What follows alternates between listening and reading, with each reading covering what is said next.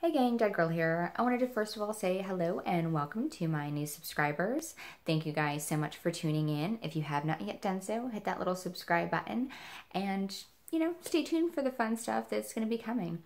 Now, I know it's a little early in the season to be talking about this, but I wanted to address some of the rumors that are going around for this year's Halloween Horror Nights. Now, so far, I've heard some talks about a couple of different houses as well as a scare zone. Now, last year they did a fantastic job. Uh, Universal did a lot of independent houses, which I thought was really nice and really refreshing. Um, they also did some movie houses as usual. Their Ash vs. Evil Dead house was beautifully done. The scenic in there was fantastic. It captured not only the TV show, but the movies as well. The Shining House was another one of my favorites. Again, the scenic in that was absolutely gorgeous. Um, you know, definitely captured the movie. They had the whole elevator scene with the blood pouring down, and it just, just well done. They also had um, another favorite of mine was the American Horror Story house. It captured a couple of different seasons, and the casting in that house was really spot on. There were a couple of girls that looked exactly like the characters from the TV show, which was fantastic. Now, if you go to Horror Nights, a lot of you you know, you go to be scared, you go because you want that thrill, you want that adrenaline rush. Now, for me, I personally go for the scenic work. I don't get scared in those houses.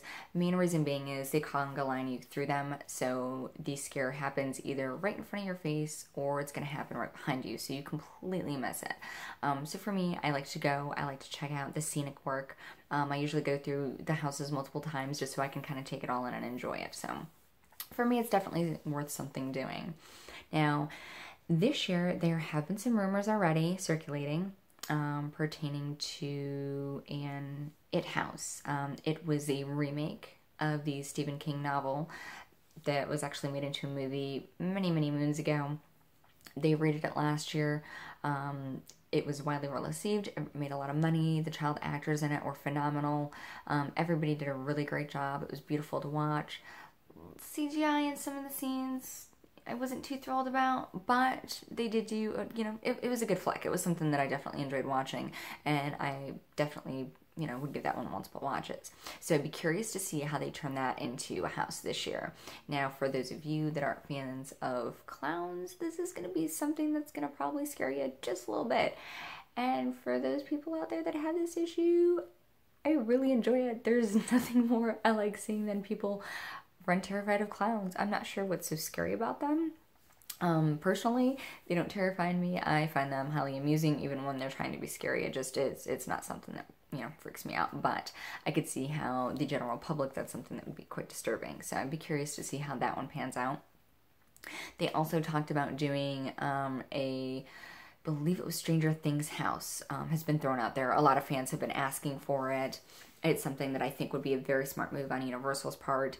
They just released season two a couple of months ago. That was a wonderful, wonderful, you know, follow up to the first season.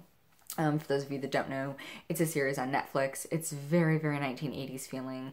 Um, you know, just really cool. It's got Winona Ryder in it, and she does her Winona Ryder thing as always, but just just really really awesome. So I'd be really interested to see what they do as far as turning that into a house goes, and I would love to see how they create the Demogorgon because you can't have a Stranger Things house without having the Demogorgon. So that's something that if they do decide to do that, I'm I would very much be happy about that, and I would I would definitely enjoy it and, and go back multiple times for that. Um, there was some talk on one of the unofficial Halloween Horror Night fan sites.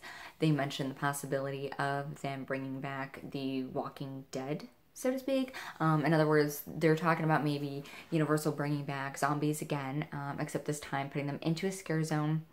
There was mention of them taking the old Walking Dead masks and kind of repurposing and repainting them and using them for this new zombie scare zone. Um, you know, I have friends that have worked horror nights as far as makeup goes and scare acting goes. And from my understanding, they destroy those masks. They do not reuse them. So if they still have the molds for it, I would be surprised if AMC gave them, you know, to them so that they could do that. But it's something that I, I doubt they would do. But there was a rumor going that they may bring the zombies back again into their own scare zone and they may use it as a tribute to George A. Romero. Now, George Romero, as many of you know, is the godfather of the zombie genre. Um, he did 19 uh, 68, I think it was. The the original Night of the Living Dead, followed up by Dawn of the Dead and Day of the Dead. He also did Land of the Dead and Diary of the Dead and, and a few other films. Um, Martin's one of them, Creepshow, one of my all-time favorites. So he had passed away recently and they also gave him a star on the Hollywood Walk of Fame. So it would be really cool if they could do some kind of tribute to him. Um, you know, Horror Nights, that would be something that I, I would I would definitely be excited for. And I'm really hoping that they do it because that would just be awesome.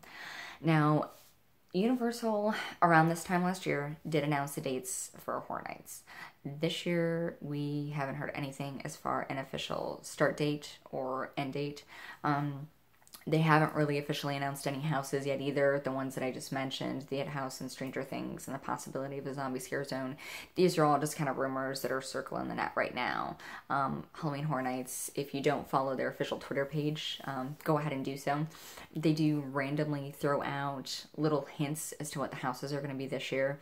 Um, they like to get cryptic with it, so it always leaves this fans guessing. And of course, that's where all the speculation stems from.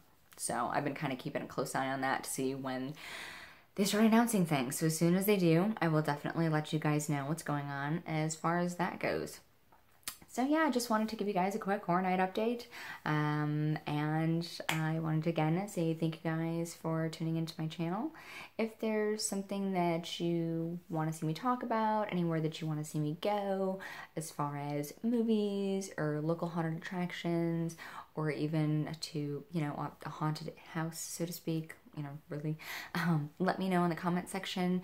Um, also, I'd be curious to see what houses would you guys like to see this year at Universal Halloween Horror Nights? What type of scare zones would you like to see? What were some of your favorites from last year's? You know, hit me up, let me know. I'm always curious as to what everybody else thinks. So again, thank you guys so much for watching, and I will see you next time.